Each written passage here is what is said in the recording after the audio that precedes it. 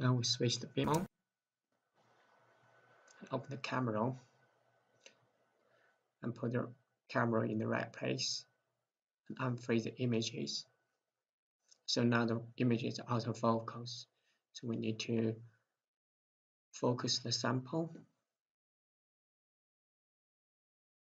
No matter what magnification you're going to choose, it's totally up to you. So now we choose 1000. Now we need to do the dynamic focus. Do the center focus first, if you're happy, then do the upper focus. Now we use the panel to move the stage to find the area of interest. So you can just press X minus X or positive X to move the stage on the X direction. But if you want to move the Y direction, just bear, keep an eye on the camera so the your sample is not going to touch the pole piece.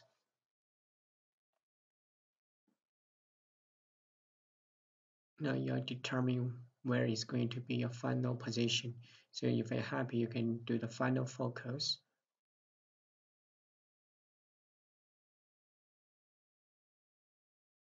Then now we are going to insert the EBSD detector. Open the Aztec and then just check the phases you want to do. And because this is standard sample, I use the iron FCC and then you can scan the image. I found that the FSMX image is not right because we don't put the detector in, so we now only use the SE image.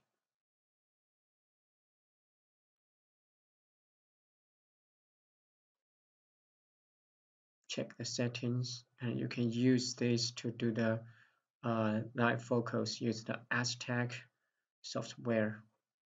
So it's a continuous scan, and you can use the SEM control panel to do the focus. Now we scan the image again because now we change the stage region of interest. Now we need to double check the um, detector position. So that's the EBS detector and this is EDS detector is fully retracted.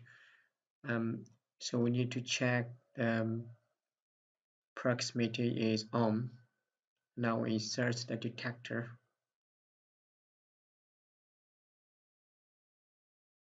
It will automatically stop. I just keep in mind that put your mouse in the stop position just in case there is something wrong happen.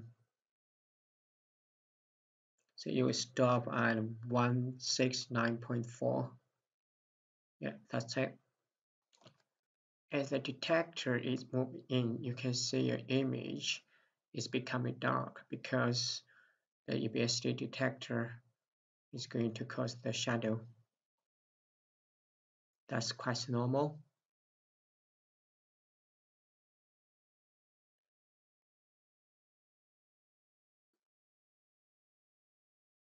What you need to do, you, you just press the ACB and then you can get the rise contrast image.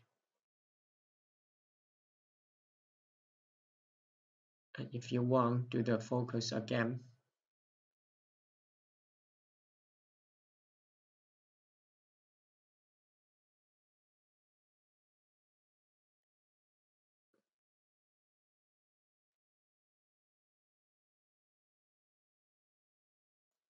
And when everything is done, and then you need to close the camera, otherwise you, you can't see anything in the EBSD map.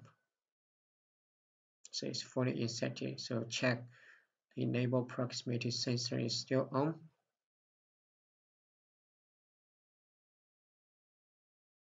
Because now we're going to do the SEM image, so we need to switch off, otherwise there will be lots of interferences.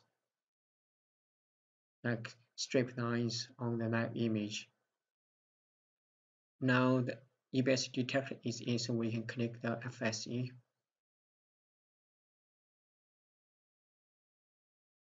Start. So now you get FSD mixed image. Uh, you can see some strip lines because we choose the customer mode.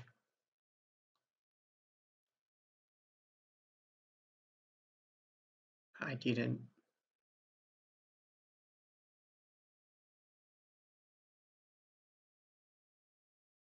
So now we switch to the FSD top orientation. So now you can see the contrast image is quite clear.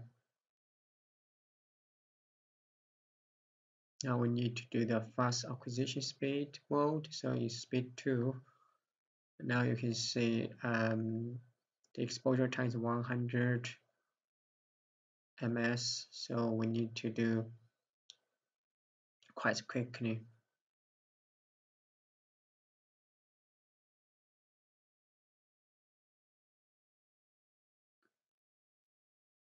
Set up, correct the background.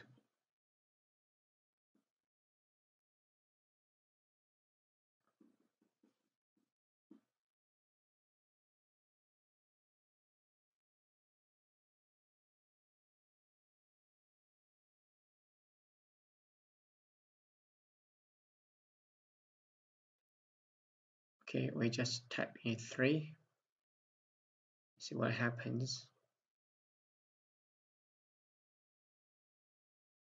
Good, not too bad.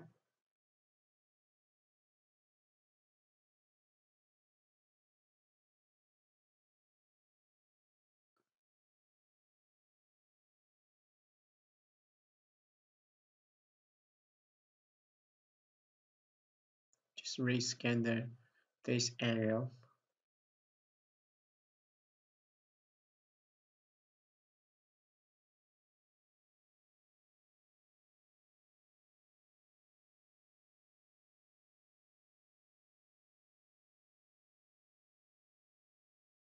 and we going down to 0.3 you can see the Kikuchi pattern is still visible and it still can be indexed in every point which is good. We can use the refine accuracy mode to do the indexing.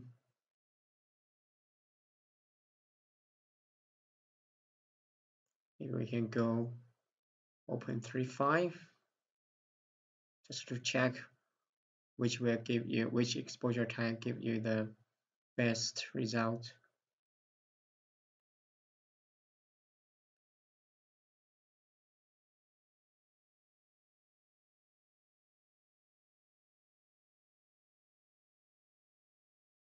Now we untick the auto background because the auto back background will kind of decrease the acquisition speed.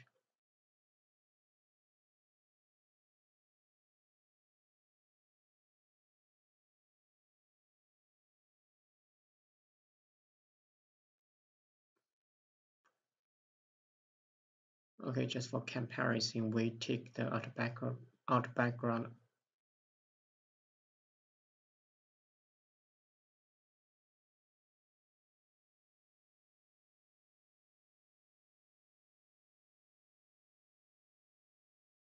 Now if you're happy we do the refinement.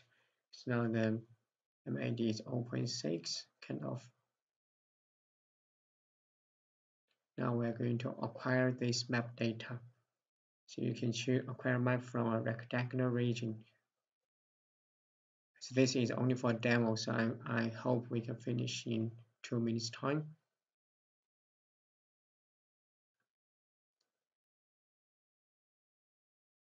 You can choose step size.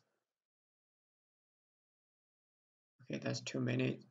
And then you can take the stop patterns if you want and start.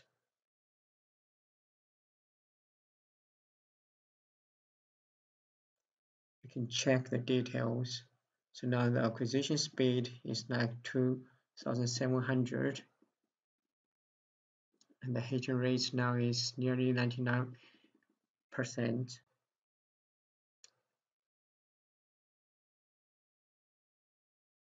It's nice. But you can also see some dust on the top of the surface, which will not give you the indexing and all.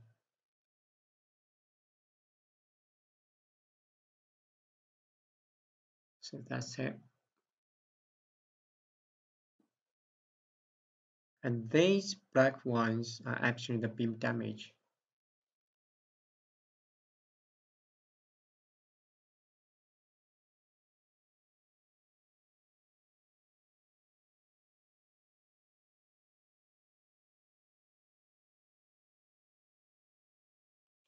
The speed is not over 3000 because we tick the automatic background.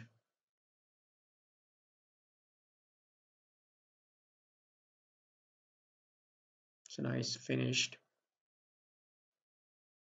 We can check the images. The band contrast, IPF, XYZ. And also you can see the face corner, electron image. You can also check the data again and export the data to the CPR format. So you can use channel 5 to analyze your data.